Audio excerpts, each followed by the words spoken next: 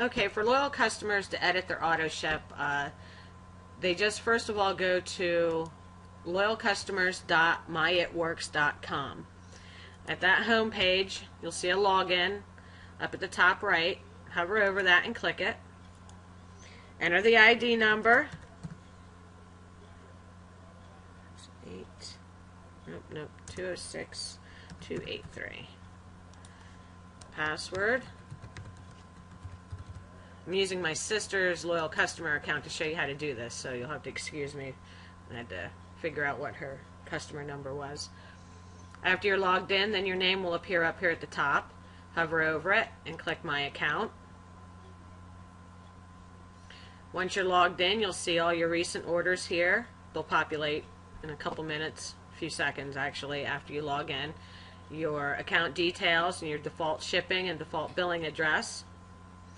Then over here on the left, the bottom should say Edit Your Auto Ship. Just click on that. Now on the right, you should see the items that are currently in your auto ship. In this case, she has the cleanser gel and the hydrating toner. To change your auto ship, just click Remove on the items you don't want in there anymore. Now it's empty. Now you just go back over here to the left to the menu for the different products. Click on the category you want. And each one will come up and it'll you see the button underneath them that says add to auto ship. Just add the items you want.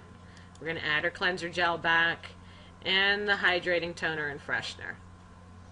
Now they're over here in the auto ship and below that you see your optional shipping methods. Select the ones you want and that's really it. Uh, it auto saves for you. We'll go back to my account and we'll just go back in to edit your auto ship just to double check. But they should have uh, auto saved. Yep, there they are. And that's all it takes to edit your auto ship in your loyal customer account.